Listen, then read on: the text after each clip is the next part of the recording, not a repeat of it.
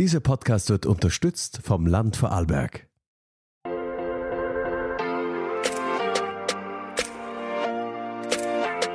Schön, dass ihr eingeschaltet habt. Ihr hört Pure, euren Podcast rund um die Themen pflanzenbasiert, unverpackt, regional, ethisch fair. Heute mit Chris Alter.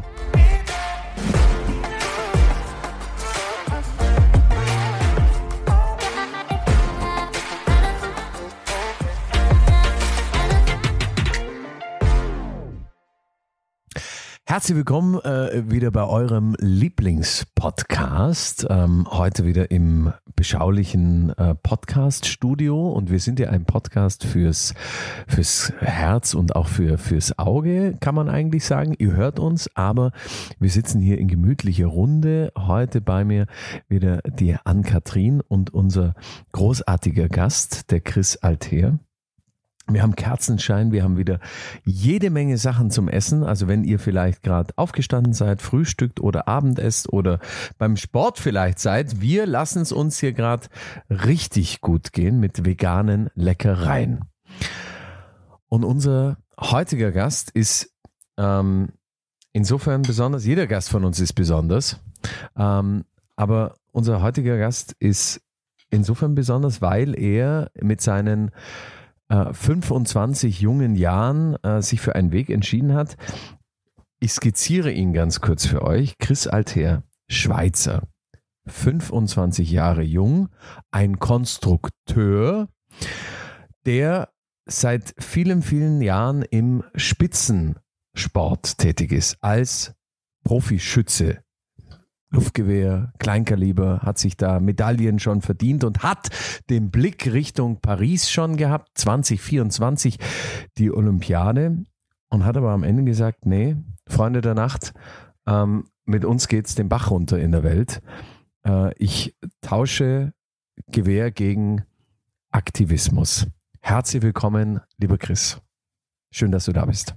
Danke vielmals, dass ich darf Gast sein. Sehr gerne.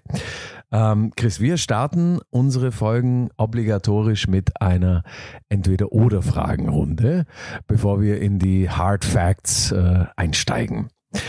Entweder oder sieht für alle neu dazugekommenen in unserem Podcast so aus, dass wir ähm, dir jetzt, also ich stelle dir Fragen, entweder oder, du aus dem Bauch heraus ad hoc die Antwort quasi darauf gibst. Okay, wir starten. Schnee oder Sonne? Sonne. Gabayé oder Moneyboy? Oh, weder noch, bitte nicht. Wenn du wählen müsstest? Äh, Gabayé. Schwer, hätte ich nicht erwartet. Optimismus oder Pessimismus? Definitiv Optimus, Optimismus. Zehn Jahre zurück oder zehn Jahre vor? Zehn Jahre vor. Tomatensoße oder Kartoffelsalat? Ähm, Tomatensauce, mir gefällt die Rotfarbe. Es gefallen vielen gerade rote Farben und äh, wir sehen die auch gerade überall. Also Thema Tomatensauce ist allgegenwärtig. Ähm, Menschen, die sich am Boden festkleben mit Sekundenkleber, viele Menschen, die sich darüber aufregen, dass sich andere am Boden festkleben und äh, nicht zur Arbeit können, Rettungswegen womöglich blockiert werden, etc. Also da gibt es ganz, ganz, ganz viel Kritik an diesen Menschen, ähm, die vermeintlich arbeitslos, verzogene Junge sind, ähm, die eigentlich eingesperrt gehören ähm, oder mal richtig arbeiten gehen sollen. Ähm, Jetzt hat dich dein Weg vom Spitzensport weg vom Olympiatraum, also zum Aktivismus hinbegeben. Ähm, bist du so ein verzogener junger Schweizer, äh, der eigentlich eingesperrt gehört und arbeitslos ist? Ich glaube nicht. Ähm, ich glaube, ich bin einfach ein, ein, Bürger, der sich Sorgen macht um, um seine Zukunft und um die von, von seinen Mitmenschen. Ähm, und ich würde eigentlich sehr gerne zuerst mal mit diesen Vorurteilen gerne aufräumen, die immer wieder kommen. Ähm, zum einen mal bin ich nicht arbeitslos und das sind ähm, die wenigsten von, von unserer Bewegung eigentlich gar keine, weil wir müssen ja alle von irgendetwas leben. Ähm, wir haben alle unsere Jobs. Ähm, und zum anderen ist es halt so, dass wir ganz sicher keinen Rettungsweg blockieren. Wir sorgen immer dafür, dass Rettungsgassen vorhanden sind. Ähm, und da ist uns auch extrem wichtig, auch die öffentlichen Verkehrsmittel können bei den, Organis äh, bei den Bewegungen, wo ich dabei bin, immer durch, die werden immer durchgelassen. Und da ist äh, uns sehr, sehr wichtig. Ähm, ich glaube, man muss sich auch immer ein bisschen fragen, wieso dass wir zu diesen Mitteln greifen. Und ähm, ich bin ganz froh, dass, wir auch, dass ich auch die Chance bekomme, um da, zum da erklären. Es kommt vor allem von dort her, weil alle anderen Mittel, die bis jetzt probiert worden sind, ähm, einfach nicht funktioniert haben. Sie haben einfach nicht gegriffen. Und, und darum wählen wir da Mittel, wo wir, wo wir gewählt haben. Ist das schon das klingt schon fast schon wie ein Totschlagargument für all jene, die nämlich sagen, diese jungen Leute, jetzt beschmieren die da Kunst, ja, verunstalten Kunst, kleben sich auch noch fest. Ähm, ich habe äh, übrigens geschaut, dass unser Gast heute keinen äh, Klebstoff mit dabei hat und äh, sich hier bei uns festklebt. Ähm, hast du dich schon mal irgendwo festgeklebt? Ja. Auch schon geklebt. Wie, wie war das? Ja, wir haben uns ähm, im Sommer an einem Tisch angeklebt, wo wir vor dem Landtagsgebäude in Bregenz aufgestellt haben. Ähm, wir wollten dort mit PolitikerInnen reden. Wir, wir haben schon vermehrt das Gespräch gesucht. Ähm, es interessiert sich meistens niemand dafür. Darum haben wir uns dazu entschieden, um uns anzukleben, weil es dann einfach schwieriger ist, um uns kurzfristig dort wegzubringen. Und ähm, wir haben selbstverständlich niemandem etwas zu leid tun. Die PolitikerInnen haben einfach können, können um den Tisch herumlaufen. Ähm, das haben die meisten auch gemacht, weil sie haben sich auch dann nicht für uns interessiert. Ähm, aber wir haben es erreicht, dass wir bis zum Start der Sitzung können dort bleiben und da hätten wir nicht geschafft, wenn wir einfach dort hergestanden wären. Weil dann hätten wir euch vorher schon abgeführt, oder wie? Dann hätten wir uns einfach ähm, wahrscheinlich weg, wegbefördert, viel schneller. Und es ist auch nicht so, dass ich da gern mache. Also es, ich mache das nicht, weil es mir Spaß macht. Ähm, auch irgendwelche Straßenblockaden, die wir bis jetzt gemacht haben, wie kürzlich in Feldkirch, das ist nicht so, dass ich da, dass ich da lässig finde. Es stört mich extrem und es, es macht mich traurig, dass ich Menschen muss bei ihrem Alltag stören. Ähm, aber es, es gibt einfach keinen anderen Weg. Ich hinterfrage mich selber immer wieder. Wir in der Bewegung, wir, wir hinterfragen uns immer wieder, ist das der richtige Weg? Und ich bin mir bis jetzt auch nicht sicher, ob es der richtige Weg ist. Aber alle anderen Ideen, die ich habe, sind entweder schon ausprobiert worden und haben nichts bewirkt, oder ähm, sie, sie, sind einfach, sie sind einfach zu brav. Also sie, sie, sie funktionieren nicht. Mhm. Ähm, es sind WissenschaftlerInnen warnen seit 30, 40 Jahren vor der Klimakrise und es bewegt sich nichts. Es sind x Leute auf Demonstrationen gegangen, schon, schon zu Zeiten, wo ich noch, wo ich noch ein kleiner Bub war und es passiert nichts. Und darum müssen wir den Alltag von Menschen stören, auch wenn wir es nicht gern machen und auch wenn es nicht etwas ist, wo, wo, wo lässig ist. Und wir machen uns auch nicht beliebt, da, da weiss ich. Und ähm, es bringt auch sehr viele Sachen mit sich, wo, wo keinen Spaß machen. Ähm, ich habe selber auch schon eine Nacht in einer Zelle verbracht. Ist jetzt nicht so mega kuschelig dort, aber es ist einfach der einzige Weg, wo, wo ich noch sehe. Mhm. Johnny Cash übrigens war auch eine Nacht im Gefängnis und ist weltberühmt geworden. Also so schlecht kann eine Nacht im Gefängnis auch nicht sein. Äh, du hast schon mal von der Bewegung noch gesprochen. Das habe ich, glaube ich, noch gar nicht erwähnt. Ähm, du bist äh, bei Extinction Rebellion oder? Ähm, ist das, ist das so ein Hardcore-Verein? Seid ihr, gehört ihr zur, seid ihr die, der schwarze Block des Aktivismus? wir sind nicht der schwarze Block. Ähm, Im Gegenteil, bei, bei XA wird ähm, sehr, sehr farbig protestiert. Wir, wir schauen auch immer darauf, dass ähm, auf unseren Aktionen ganz viel Musik ist, Farbe ist. Wir, wir versuchen auf eine Art und Weise für unsere Zukunft zu kämpfen, wie wir uns unsere Zukunft auch wünschen. Und da ist friedlich, es ist immer gewaltfrei, das ist ähm, etwas vom Wichtigsten bei Extinction Rebellion. Es ist farbenfroh, es ist, es ist freundlich, Wir werden auch immer wieder als die radikalen Freundlichen bezeichnet. Und genau da würde ich gerne eigentlich Hardcore durch radikal ersetzen. Weil wenn man sich die Definition von radikal mal anschaut, ähm, dann ist es eigentlich vom, vom Grunde auf, also gründlich und vollständig. Und also ich möchte eigentlich mich schon gründlich um meine Zukunft kümmern und um mein Überleben. Und ich sehe da eigentlich kein Problem, wenn man mich den als radikal bezeichnet.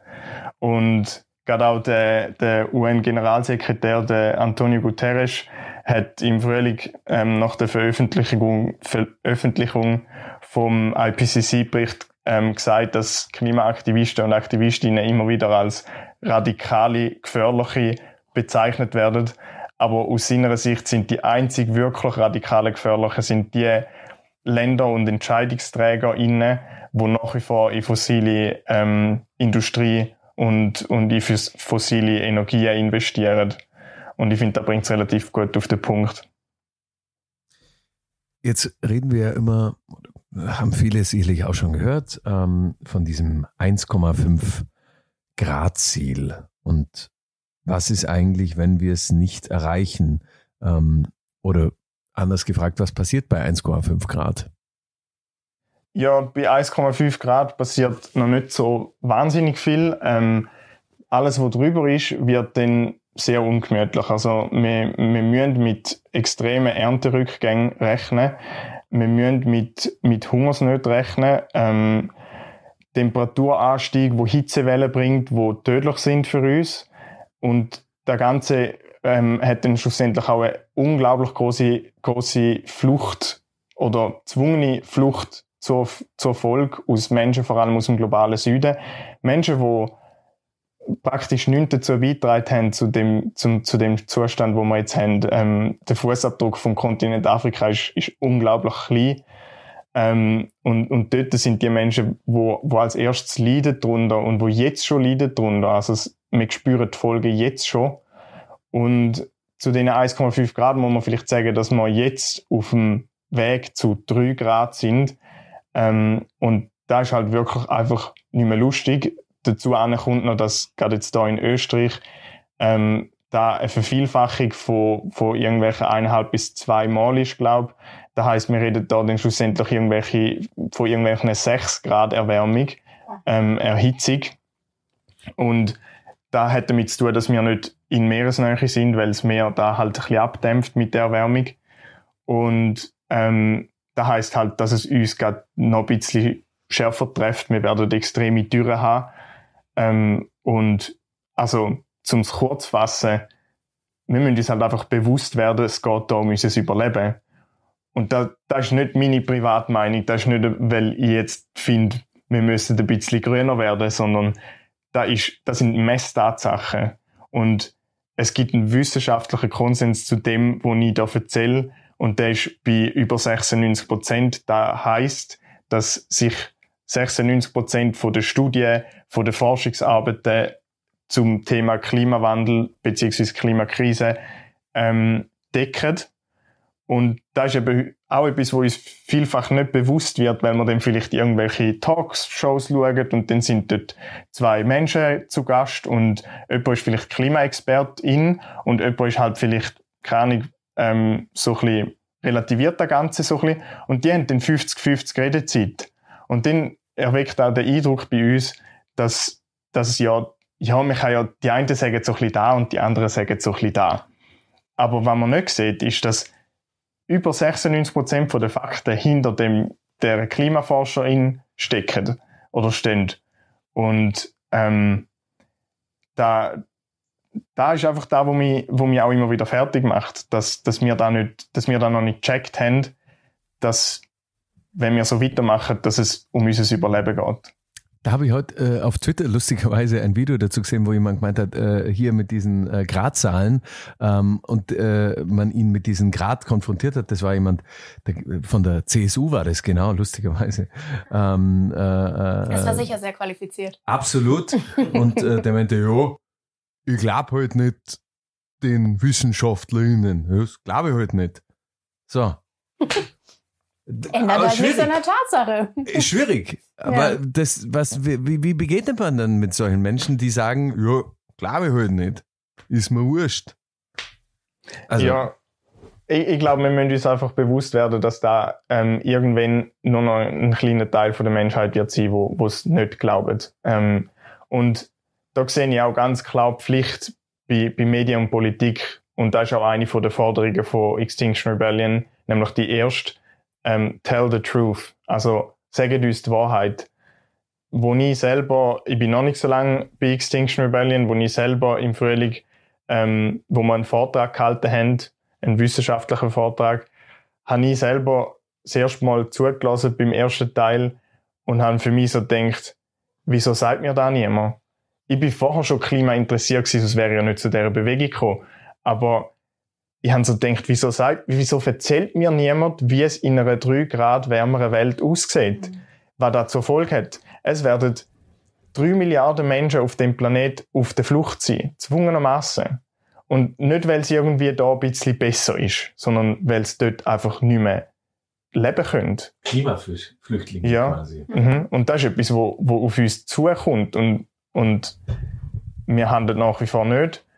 Und ich glaube, dass da vor allem auch daran liegt, weil unsere Politik und auch unsere Medien uns zu wenig informieren ich habe mir die, die Infos selber müssen holen oder beziehungsweise die sind an mich angetragen worden über Extinction Rebellion, aber ich habe immer so gedacht, ja, wahrscheinlich trifft es dann so ein bisschen die nächste Generation oder so, aber mh, hm, so schlimm ist es glaube ich nicht und, und wir schaffen da vielleicht schon noch. Ja. Und wir schaffen es vielleicht auch noch. Ja, mhm. ja wir schaffen es vielleicht, vielleicht, auch noch. Wir haben Chancen. aber wir müssen halt jetzt alles in Bewegung setzen, damit wir, damit wir da noch begrenzen können. Bitte mal weiter, ich habe Kinder in die Welt gesetzt, ja. oh Gott, ja. Aber das ist eh was. Also ich habe ähm, bei euch ein bisschen die, die Social-Media-Kanäle durchgeskippt und da gab es ein, einen Satz, der sehr mit mir resoniert hat und das war der folgende. Nachhaltigkeit leben reicht nicht aus, wenn das System, in dem du lebst, nicht nachhaltig ist, oder? Mhm. Weil das, das heißt ja, ich selbst kann so nachhaltig leben, wie ich möchte. Ähm, was wichtig ist und was wir auf jeden Fall alle tun sollten, aber wenn das System sich nicht umstellt, dann, dann bringt, also dann, dann gehen wir trotzdem vor die Hunde, oder? Mhm. Und ähm, das ist jetzt auch meine Frage an dich. Also, was, wer muss denn tätig werden und wie? Also, was ist da auch die Rolle der Politik? Und was sind da konkret eure Forderungen? Was muss jetzt gemacht werden? Ja, war im Moment halt viel passiert ist, dass, dass vor, vor allem von Seiten von der Politik auf den individuellen Konsum hingewiesen wird. Man sagt so, ja, wenn, wenn alle ein bisschen etwas machen, dann schaffen wir das schon. Und das stimmt halt einfach nicht. Das steht auch im, im Bericht vom Weltklimarat, wo nicht irgendwelche dahergelaufene Dullis sind, sondern das sind halt wirklich renommierte ForscherInnen, die schreiben, der individuelle Konsum ist fast nicht ausschlaggebend. Und wir müssen unser System verändern. Ähm, da gibt es eigentlich ganz ein einfaches Beispiel, wo ich auch immer wieder höre, so, ähm, ja, man soll keine Erdbeere im, im Winter kaufen, weil dann ist nicht Saison. Und dann heißt es immer so, ja, ähm, wenn die Leute die nicht mehr kaufen, dann sind sie auch nicht mehr in den Läden. Und wir müssen aber, bis wir alle Leute informiert haben, dass nicht die Saison von Erdbeeren ist im Winter, müssen wir extrem viel Arbeit leisten. Wir müssen extrem viel Gespräche führen und dann müssen sich aber die Leute auch noch dazu entscheiden, um die Erdbeeren zu kaufen. Mhm.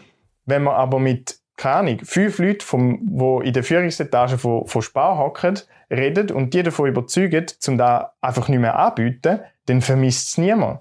Und da kann man halt eigentlich aufskalieren. Und da, da sehe ich die Pflicht von der Politik, ähm, wo, wo Anreize schaffen zum zum einen den individuellen Konsum verändern, aber auch überhaupt da möglich machen. Also wenn ich jetzt nachhaltig leben und auf meinen individuellen Konsum schauen will, dann gehe ich in den Laden und verbringe dort eine Stunde, mhm. wo ich einfach Zeit damit verbringe, um zu schauen, was kann ich kaufen, was ist regional, was ist saisonal, ich muss alles siebenmal umdrehen und das ist mir völlig verständlich, dass es ganz viele Leute gibt, die das nicht machen, weil wir haben alle unsere Prioritäten. Wir haben vielleicht Familie, wir haben einen Job, wir haben, wir haben Freizeitbeschäftigungen, die sind, sind uns vielleicht einfach wichtiger, als mega viel Zeit dafür zu verbringen, um irgendwie nachhaltig zu leben.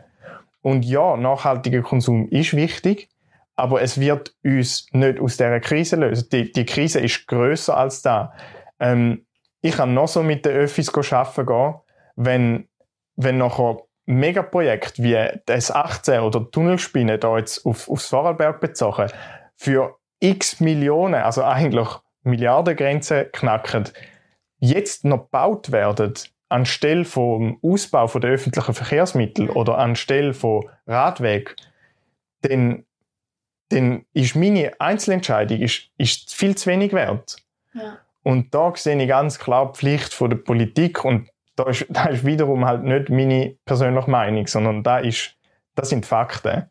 Wir brauchen eine Veränderung im, im, im IPCC-Bericht steht auch drin, dass man vielleicht überdenken zum der Wachstum oder das Streben nach Wachstum, das wir mit dem BIP haben, einmal überdenken. Weil dort ist auch ganz vieles nicht eingerechnet, beziehungsweise wenn es jetzt zum Beispiel ähm, ein Extremwetter gibt und wir dort alle Keller müssen auspumpen, dann generiert da eigentlich Wert fürs BIP. Mhm. Und ähm, wenn irgendwo ähm, Trinkwasser verschmutzt wird von einem Unternehmen, wo mit dem, dass sie es verschmutzen, ganz viel Geld verdienen, dann ist das positiv fürs BIP. Und dann muss da noch jemand klären, das Wasser, damit es wieder trinkbar ist. Und da ist dann wiederum positiv fürs BIP. Und das sind halt so Sachen, wo wir uns müssen hinterfragen und, und überdenken und, und für da braucht es halt vor allem die Entscheidungsträger inne, weil die viel größere Hebel haben, wo sie können bewegen. Mhm. Macht absolut Sinn, weil klar, also ein Beispiel jetzt aus dem Tierschutz, wo ich jetzt her bin, thematisch, da gab es ja auch Umfragen, okay, würdet ihr eh lieber vielleicht Freilandeier kaufen statt Käfigeier? Und da haben 90 Prozent der Menschen gesagt, na, Käfigeier, das wollen wir nicht kaufen. Natürlich nicht, aber die gab es halt trotzdem im Laden und 60 Prozent haben es gekauft, wenn ich mich richtig erinnere, oder? Und dann waren die Käfigeier raus aus dem Supermarkt und keiner hat geweint drum. Ja. Also es ist, es ist dann einfach erledigt. Dann gibt's einfach das Schlimmste nimmer. Mhm. Da muss man einfach Fakten schaffen. Also wie du sagst, das ist einfach, also hoffentlich einfacher, fünf Leute in der Führungsetage umzustimmen als ein paar Millionen Menschen, oder? Mhm. Und ähm, muss man einfach auch langsam mal Fakten schaffen hier. Ähm, aber wie ist denn das eigentlich? Also wer in der Gesellschaft trägt eigentlich am meisten zum CO2-Anstieg bei? Also wer sind da so die, die großen Player? Wenn jetzt mein persönlicher, nachhaltiger Haushalt nicht so viel ausmacht. ähm, es gibt Studien, eine ist gerade kürzlich rausgekommen, wo zeigen, dass die reichsten 10% von der Weltbevölkerung für ähm, knapp 50% von der weltweiten Emissionen verantwortlich sind. Heftig. Ja, das ist ziemlich krass. Ähm, und da hat auch mein, mein Denken sehr verändert und hat mich eben eigentlich dazu gebracht, um nicht mehr stundenweise im Laden zu verbringen, um jetzt irgendwie nachhaltig leben, sondern ähm, aktiv werden und Druck auf Politik probieren auszuüben. Und um da geht es bei unseren Aktionen. Wir wollen nicht den Autofahrer oder die Autofahrerin stören, damit sie im nächsten Mal mit dem Velo gehen. Das ist nicht unser, unsere Idee dahinter, sondern wir wollen Druck auf die Politik ausüben, damit sie endlich handelt. Du nimmst mir nicht mein Auto weg. Nein, ich habe niemandem vor, um sein Auto wegnehmen. Okay. Dachte ich immer, dass es ihr macht. Irgendwann kommt ihr und sagt, Bernd, dein Auto ist jetzt weg. Zack, eingezogen. Nein? das wird nicht passieren, nein. Okay. Das ist auch nicht da, wo wir wollen. Wir wollen, ähm, wir wollen, dass wir wir wollen, dass wir da zusammen angehen. Und ähm, es zeigt auch, ähm, das beste Beispiel ist für mich der Klimarat, wo in Österreich war, aber vor einem Jahr auch in Vorarlberg, wo, wo ähm, um da vielleicht kurz zu erklären, was das Prinzip dahinter ist. Es werden Menschen ähm, in einen Rat gelost auf, aus ganz verschiedenen Be Bevölkerungs- und Altersschichten von einem Land und die beraten nachher über ein bestimmtes Thema, zum Beispiel Klima. Und die werden dann ähm, zuerst informiert von unabhängigen Experten und Expertinnen zu dem Thema und dazu, was Potenzial wäre. Und nachher ähm, schaffen sie Forderungen aus und dann die dann abstimmen und übergeben sie ähm, leider nicht rechtlich verbindlich ähm, an die Politik. Und die Politik muss dann eigentlich nur noch umsetzen, was die BürgerInnenräte bestimmt haben. Mhm. Und die BürgerInnenräte, also die Leute, die in dem Rat sind, die sind zufällig gelost und das heißt, sie sind eigentlich nicht darauf angewiesen, dass sie wieder gewählt werden. Das heißt, sie müssen niemandem gefallen. Sie müssen nur anhand von ihrem Wissen, wo sie bekommen haben von den Experten und Expertinnen, können sie frei entscheiden, was ist das Beste für unsere Zukunft. Und die beiden ähm, Räte in Österreich und Vorarlberg haben halt gezeigt, und ich muss ehrlich sagen, ich hätte fast angefangen zu brüllen, als ich das Ergebnisdokument angeschaut habe, weil es so schön ist. Mhm. Es ist so schön zum sehen, zu wie viel Klimaschutz dass die Menschen bereit sind. Mhm. Freiwillig.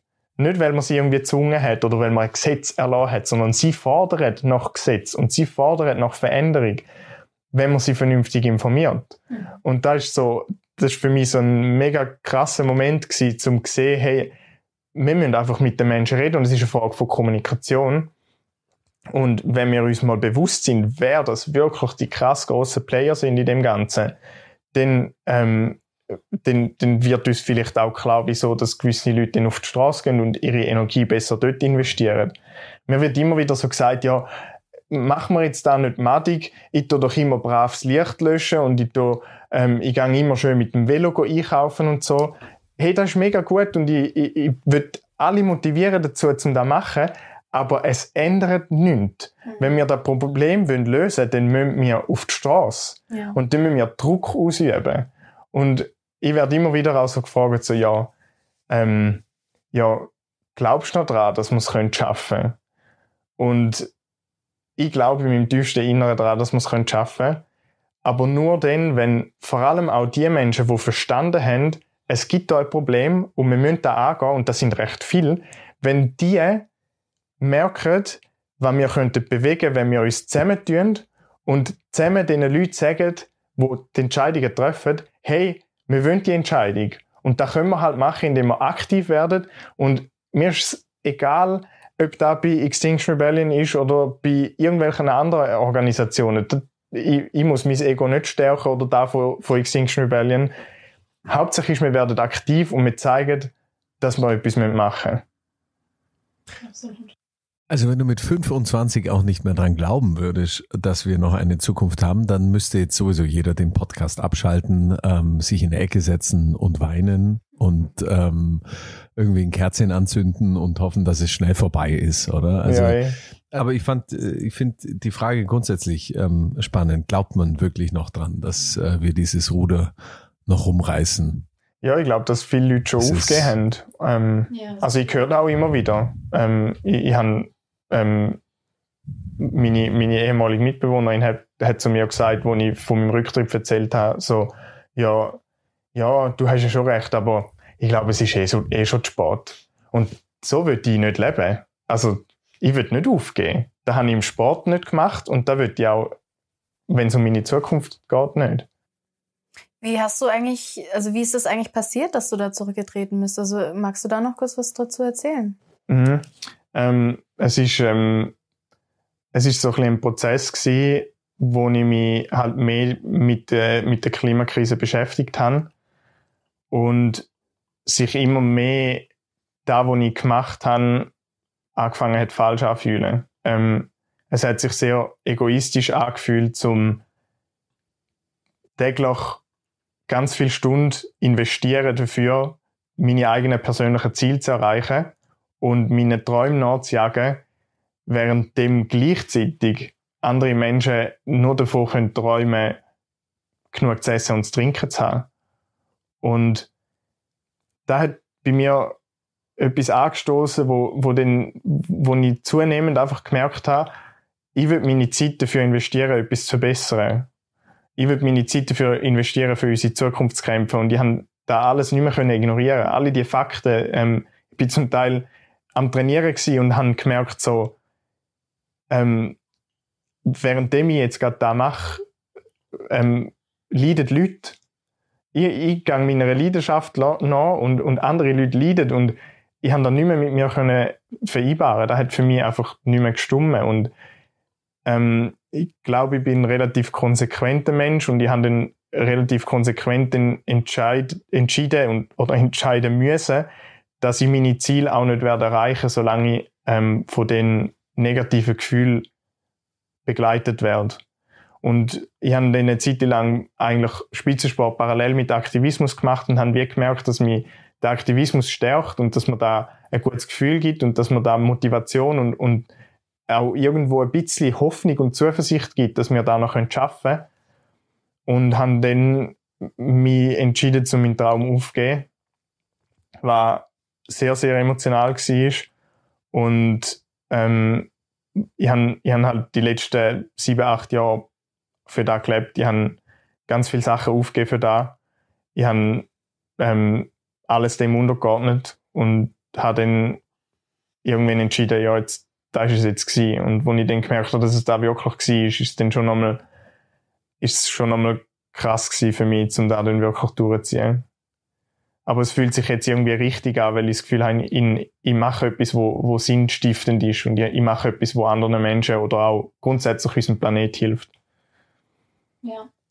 Alles hat seine äh, Zeit. Wir leben ja in diesem äh, menschlichen Sieben-Jahres-Rhythmus auch. Also wenn du sieben, acht Jahre sagst, dann hast du sieben, acht Jahre großartig und ambitioniert verbracht und, und auch sehr sinnstiftend, aber der Mensch erneuert sich ja so alle sieben Jahre, häutet sich quasi so seelisch ein bisschen und äh, jetzt hast du einfach eine neue Berufung äh, für dich entdeckt und das äh, dafür kann man ja nur Danke sagen, äh, dass du äh, unserem Planeten, äh, den es ja nur einmal schließlich gibt, eine Zukunft geben möchtest. Also von dem her ähm, sicherlich eine gute Häutung, eine seelische. Ähm, wir sind ja ein, ein sehr transparenter Podcast. Wenn wir diesen Podcast hier aufzeichnen, dann war letzten Sonntag der 6. November und da hat die 27. Weltklimakonferenz in Ägypten gestartet. Und ähm, äh, Politik ist also schwierig. Wir haben schon darüber gesprochen. Es äh, hängt an den Entscheidungsträgern wenn man mich persönlich fragt, ich glaube ja, dass irgendwelche Echsenmenschen uns regieren. oh je. Kommt ja manchmal so vor, das stimmt. Nein, nein, nein, nein. Wo bin ich hier gelandet? Scherz. Scherz. Keine Reptiloiden. Die Erde ist aber trotzdem flach. Ähm, nein. Gib mir Beweise, dass es anders ist. Setz dich ins Flugzeug. Nein, das ist klimaschädlich. Ja. genau. Ah, Kurzstreckenflüge. Damn, schlecht. Äh, aber einmal noch die Gran Can äh, Kanaren sehen, bevor sie untergehen, oder? ja. So nach dem Motto. Ähm, also, da sitzen also wieder Leute zusammen, die reden ganz viel. Ähm, äh, jetzt setzt du dich dafür ein. Ähm, und hast auch schon darüber gesprochen, dass es um Kommunikation geht. Politik müsste es eigentlich schaffen, so mit uns zu kommunizieren, dass wir es tatsächlich ernst nehmen.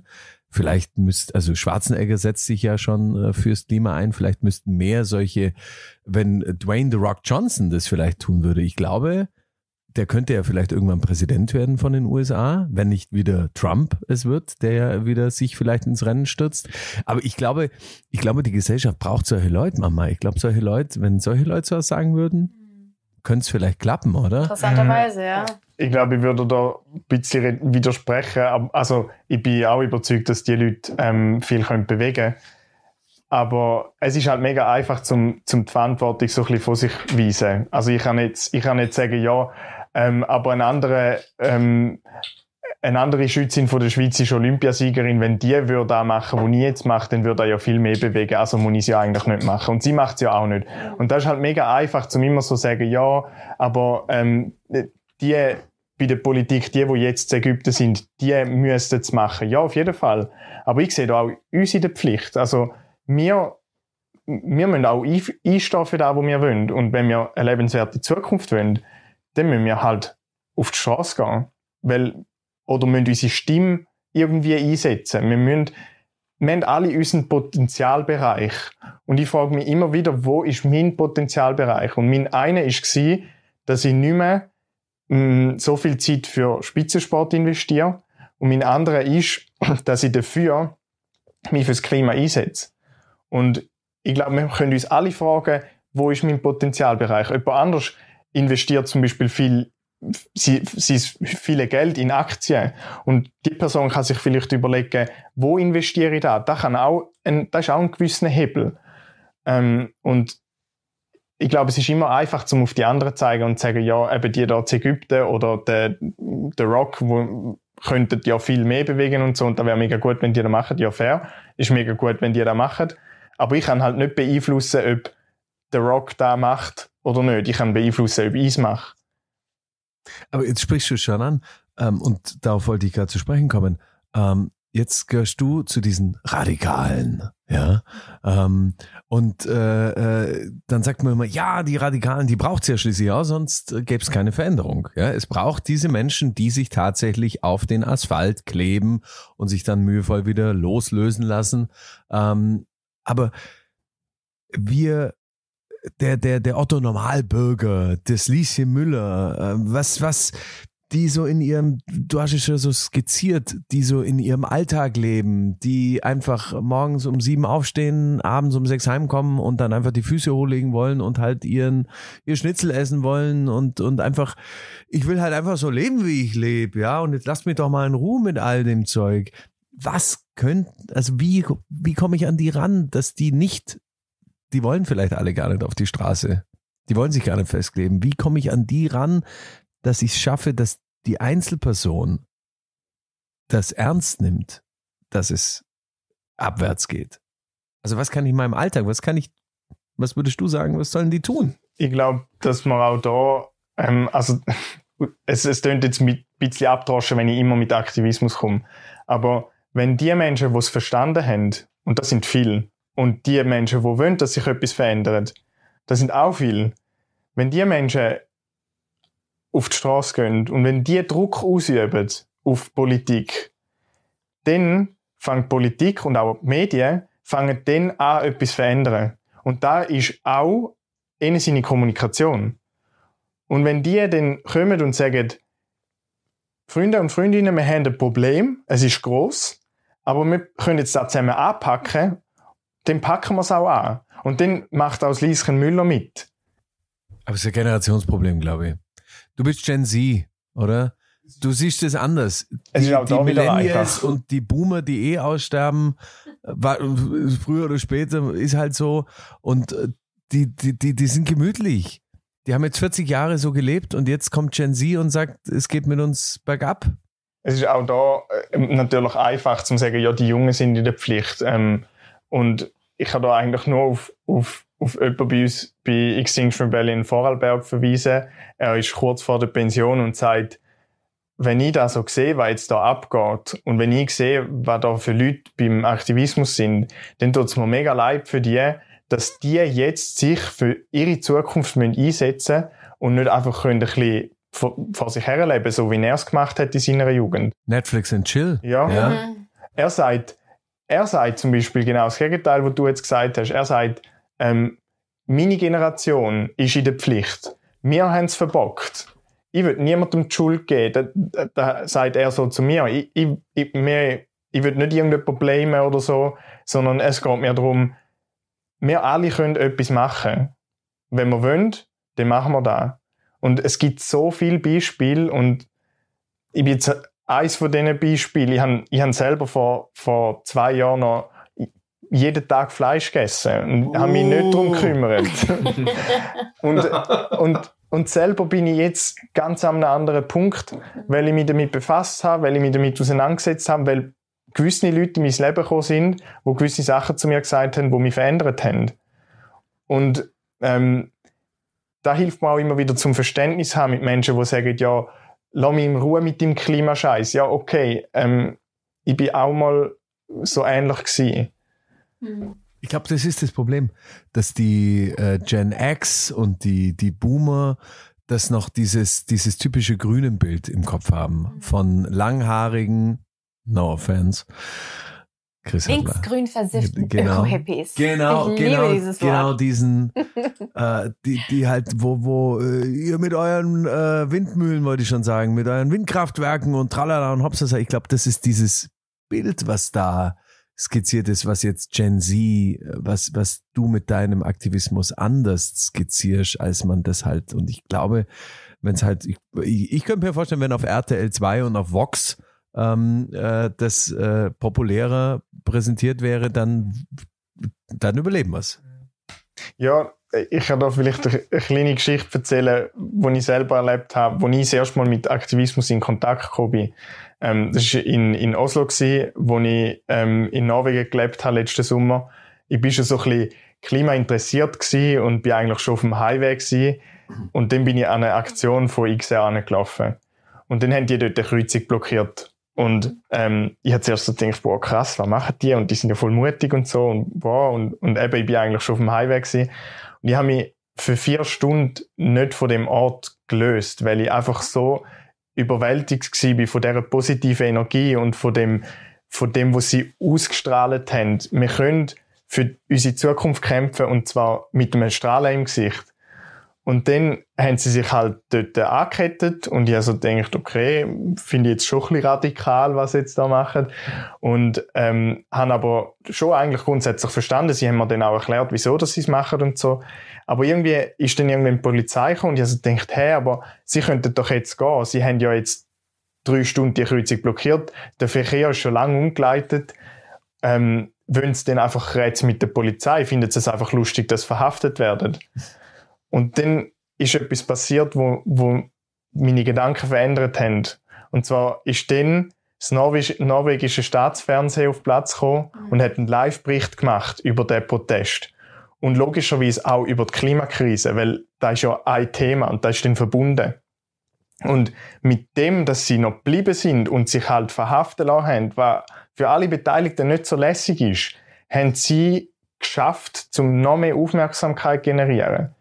Und wenn die Medien nicht von sich aus die Aufmerksamkeit auf die Klimakrise lenken, dann müssen wir das halt machen. Und wenn da halt zur Folge hat, dass wir Straßen blockieren, dann, wenn da der einzige Weg ist, dann okay. Wir berichten jeden Tag, höre ich im Radio die Sportnews.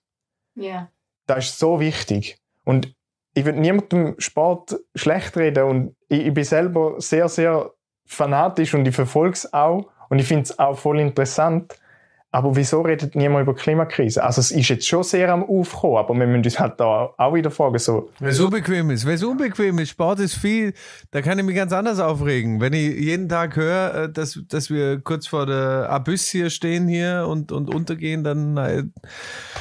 Boah, Frühstücksradio. Guten Morgen, meine Lieben. 1,5 Grad Ziel verpasst. Wir gehen in den Untergang. Äh, wie sieht's beim Sport aus? Mensch, Bayern ja. hat wieder gewonnen. Ja, genau. Ja. ja voll, aber es muss ja nicht, es muss ja auch nicht sein, ähm, guten Morgen, wir haben das 1,5 Grad Ziel verpasst, sondern es kann ja auch mal sein, guten Morgen, ähm, die und die Stadt ist jetzt autofrei und das ist mega angenehm und wir haben dort Menschen interviewt, die uns erzählt haben, wie das war. Aber denk an die Einzelhändler, deren Umsatz untergeht, wenn die Stadt äh, autofrei wird. Ja. Wer denkt an die?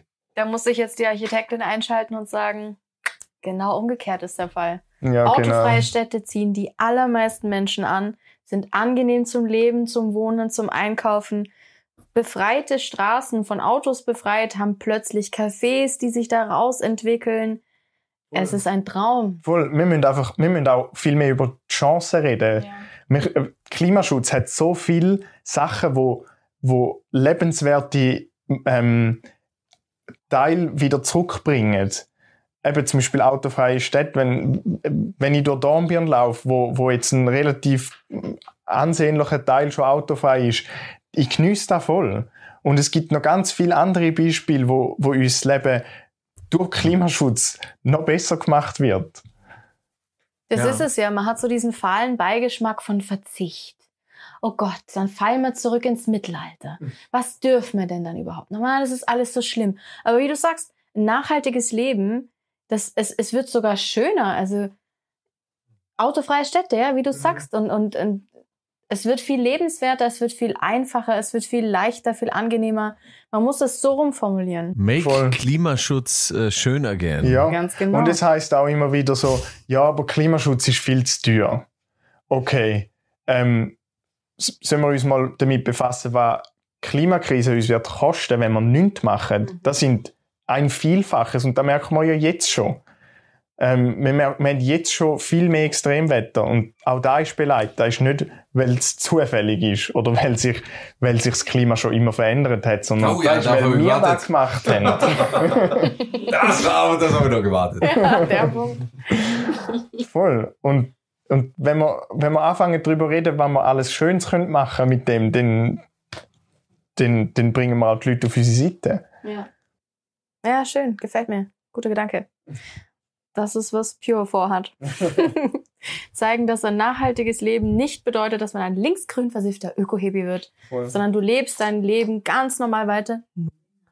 Ja. Man kann linksgrün versiffter öko Ja, kann- kann man werden, sein. wenn man das möchte. Sicher. Gut. Wie gesagt, ich liebe dieses Wort.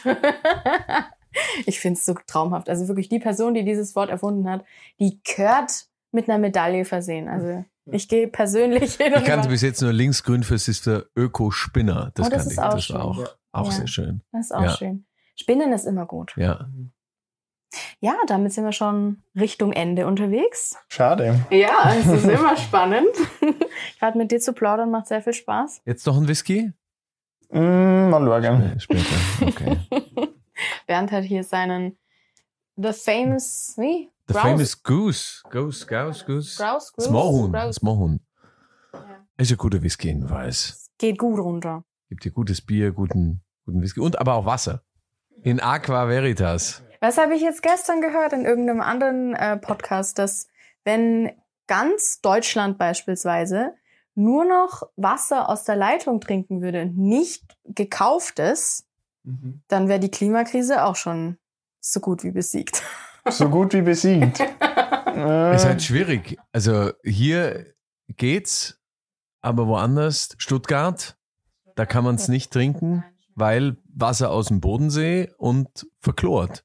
Ja, und wir sind halt jetzt leider auch da wieder schnell dabei, dass ähm, jeder und jede einzeln ein bisschen etwas muss machen, nämlich eben das Wasser von der Leitung trinken. Hey, come on. Wir haben größere Hebel in der Hand. Wir könnten zum Beispiel einfach ein Tempolimit einführen. Wir würden Ja. unglaublich viel Emissionen sparen durch das und es wäre eine ganz einfache Maßnahme.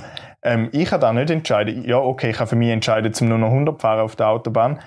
Aber Boah, 100 die Menschen wenig. in der Politik, die könnten da entscheiden. Ja. 100 ist voll gemütlich im Fall. Boah, 100 ist schwierig. 100, also 100, können wir uns auf 100, 130 einigen?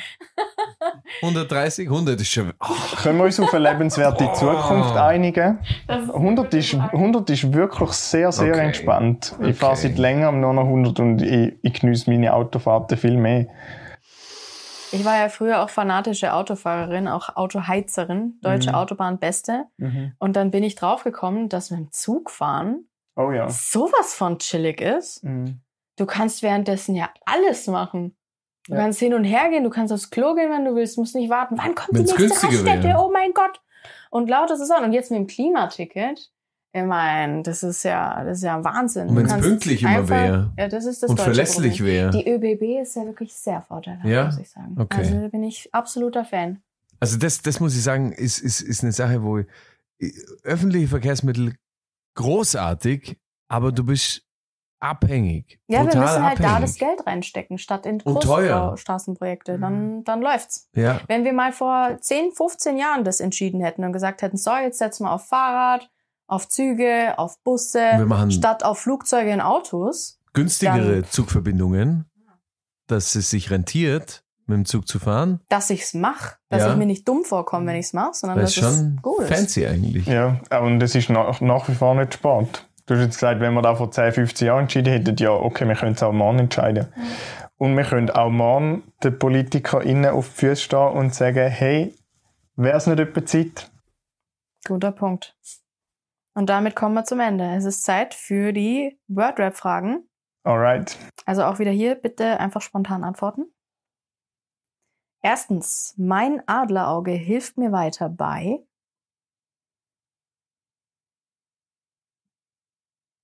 Beim Verpackungen lesen, um möglichst nachhaltig konsumieren. Das stimmt, da braucht was. Das Kleingedruckte. Zugfahren ist geiler, weil. Weil ich gleichzeitig mit meinem Laptop arbeiten weil ich kann lesen, weil ich kann Podcasts hören, zum Beispiel den Pure Podcast. Mhm. Aktivismus ist. Ein wichtiger Bestandteil von einer lebendigen Demokratie. Die Gesellschaft sollte. Mm, mehr Toleranz haben und einfach glücklich sein.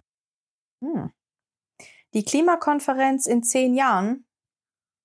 Braucht es nicht mehr, weil wir den alles schon im Griff haben. Ah, traumhaft. Das wäre schön. Wir müssen ab und zu ein bisschen träumen. Ja, das machen wir. Optimismus und Träume. Das ist ein schöner, schöner Schluss. Aber der Schluss, der wahre Schluss, zumindest bevor es noch äh, an die Factbox Box geht, äh, wo nochmal alle Links und Fakten zu diesem Podcast aufgeschlüsselt sind. Das wahre Schlusswort gehört vorab aber dir, äh, lieber Chris. Ähm, der Mann, der sich vom äh, Spitzensport abgewendet hat und hin zum ähm, Klimaaktivisten bewegt hat und äh, unseren Kindern eine Zukunft geben möchte und sich selber. lieber Chris, ähm, dein Wort zum Schluss, ein Zitat. Gibt es noch was du uns auf den Weg geben möchtest? Dein Wort zum Sonntag. The stage is yours. Ja, ich, ich kann mich nicht ganz entscheiden, darum ähm, erlaube ich mir jetzt zum zwei Sachen nennen. Ähm, das eine ist etwas, was mir persönlich sehr, ähm, mir persönlich wichtig ist, und zwar etwas, wo ich für mich immer wieder denke, ich bin nicht auf dieser Welt, zum einfach zuzuschauen. Hm. Und das andere ist etwas, wo ich allen möchte mitgeben und da ist, du zählst, was du tust, zählt. Haben immer wieder jetzt davon geredet, dass der individuelle Konsum nicht so wichtig ist und so und, und nicht so viel bewegen kann. Aber wir alle können etwas bewegen. Wir müssen uns nur fragen, wo und wir müssen uns fragen, ob wir die Chance nutzen wollen. Danke, Chris. Danke für deine Zeit heute, dass du bei uns warst. Ähm, alle Infos zu Chris Altea und äh, zu Extinction Rebellion und äh, überhaupt zu dieser Podcast-Ausgabe gibt es natürlich wieder in der Factbox, ähm, die ihr unterhalb dieses Podcastes findet. Ähm, danke, dass ihr wieder euren Lieblingspodcast eingeschaltet habt. Ähm, teilt und liked und verbreitet ihn, wie immer. Danke wieder fürs Zuhören. Jetzt einen schönen Morgen, einen schönen Mittag. Viel Spaß noch beim Sport, beim Zugfahren, im Auto oder beim Abendessen oder wo auch immer ihr uns gerade noch gehört habt. Wir hören uns beim nächsten Mal wieder und wir freuen uns auf euch. Bis dahin, alles Liebe.